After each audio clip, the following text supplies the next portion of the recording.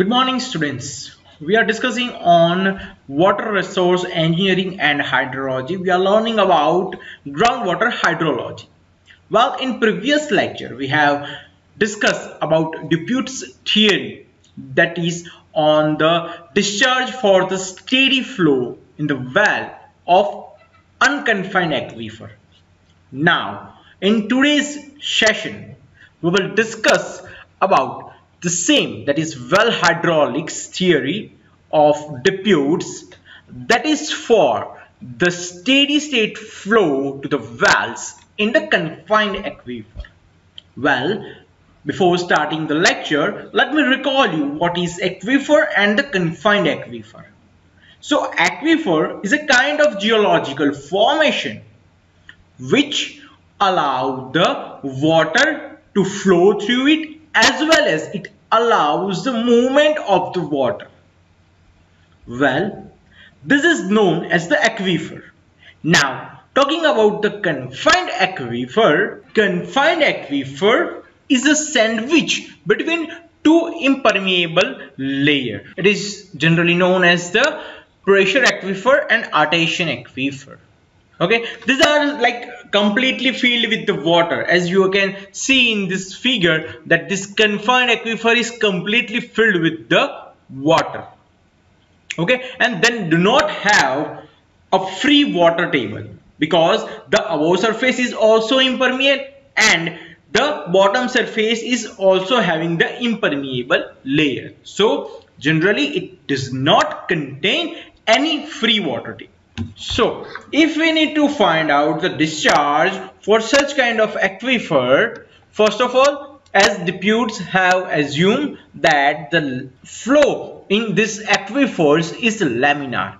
And we all know that for the laminar flow, we can use the Darcy's law.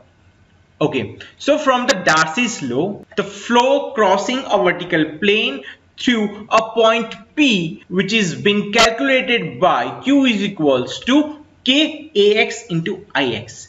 Well here also the area of flow would be 2 pi x but here we could not use the value of y because here vertical height of confined aquifer is B. So the area of flow would be considered for this width only. So Ax is equals to 2 pi x b. So Ix is equal to hydraulic gradient at particular point P. Okay. And that is dy by dx. Okay. Now let's put the value of Ax and Ix into the Darcy's law formula. So Q is equals to 2 pi xb dy by dx. Now let's separate the term uh, that is regarding to x at your left hand side. So q into dx upon x is equals to 2 pi k into b into dy. So here this discharge is for only a particular point P. Now if we need to find out the discharge for whole well, okay, so for that we need to take the integration.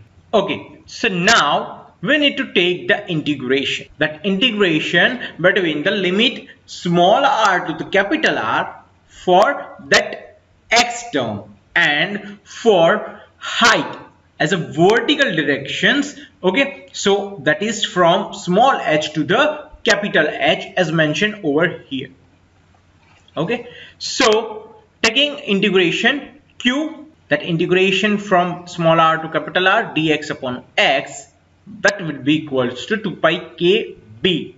Now here 2 pi k is constant but with that also that the width of that aquifer is also remain constant throughout the calculation. So 2 pi kb would be taking as a constant and the integration of dy would be only y and the integration of 1 by x that would be log x. So q into log x r to r that is 2 pi kb y from small h to capital H. Now if we apply the limits q is equals to 2 pi kb capital H minus small h upon log r upon r base e.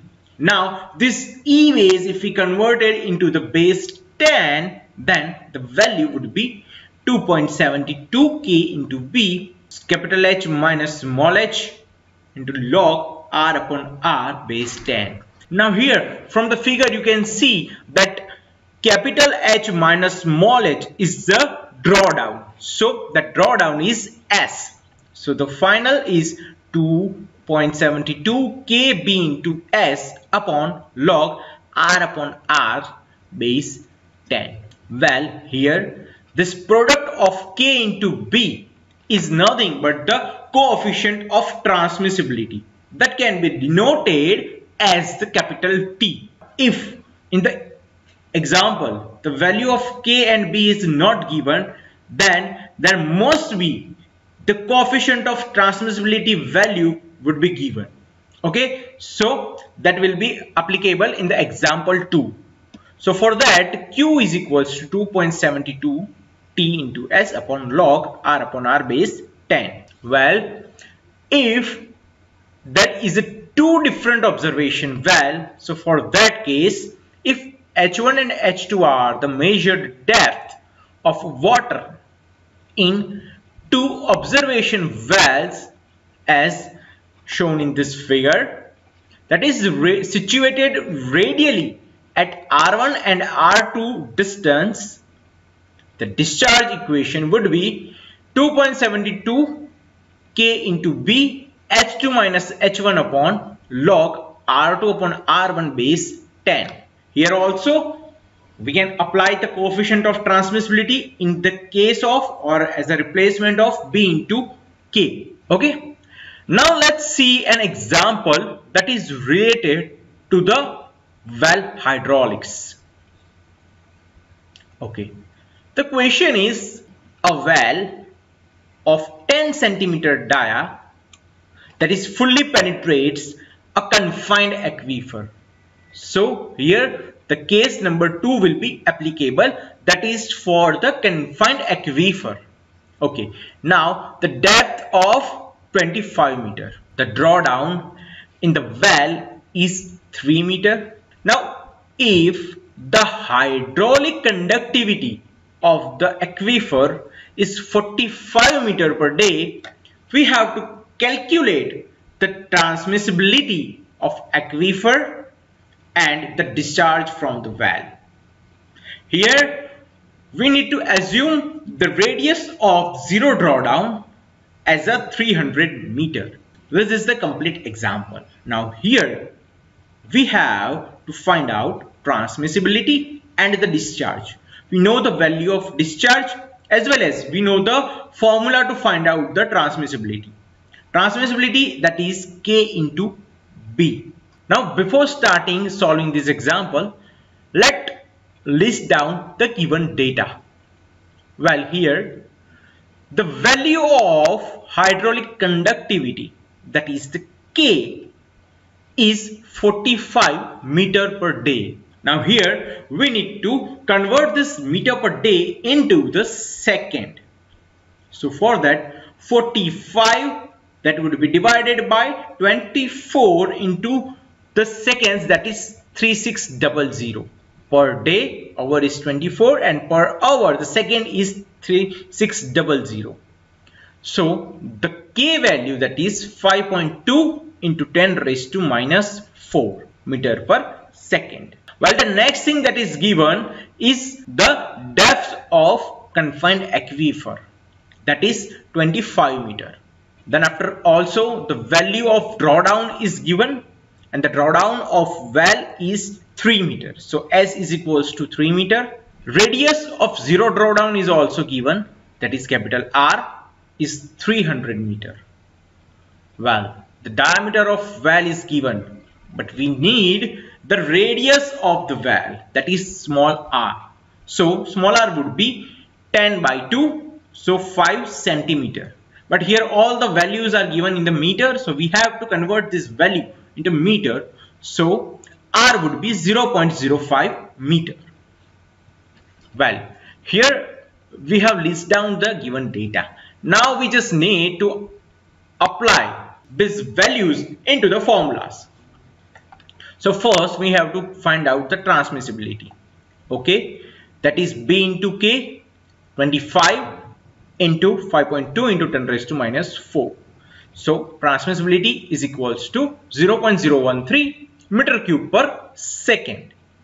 So now to find out the discharge we have the formula that is Q is equals to 2.72 K into B into S upon log R upon R base 10.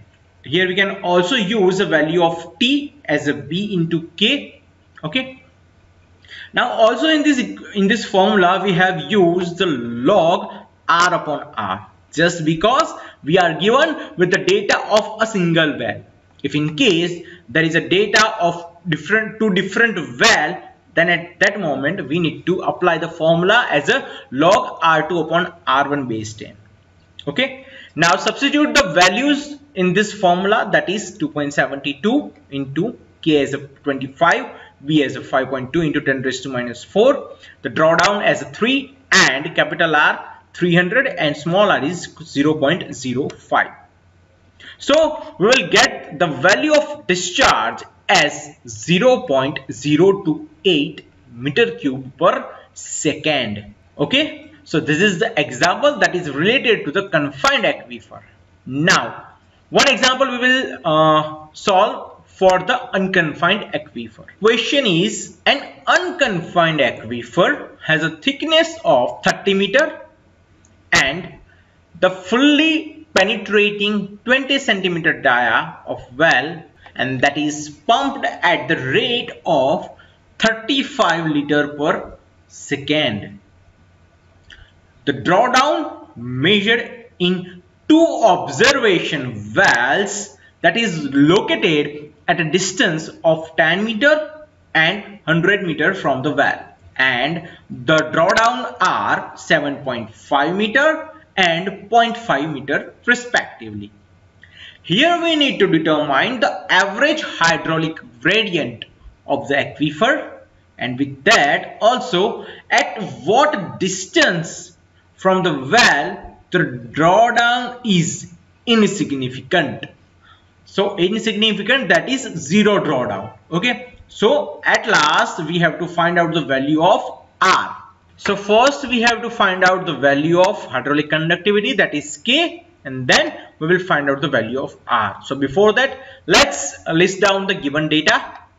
Well here the value of capital H that is the thickness of unconfined aquifer that is 30 meter. Now the drawdown measured at the observation wells that are located at the distance 10 meter and the 100 meter. So R1 is 10 and R2 is 100. Well with that also they have mentioned the drawdown values that is 7.5 and 0.5 meter. Okay. The value of small h1 that is capital H minus S1 the value of h that is the thickness of the unconfined aquifer is 30 and the drawdown first drawdown that is 7.5 meter.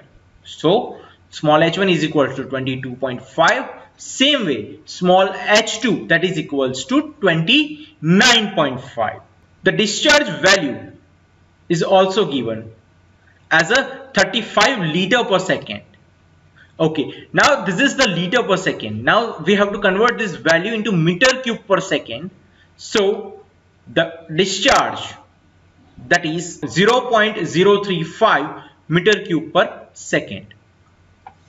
Well to find out the value of k we have to apply the discharge formula.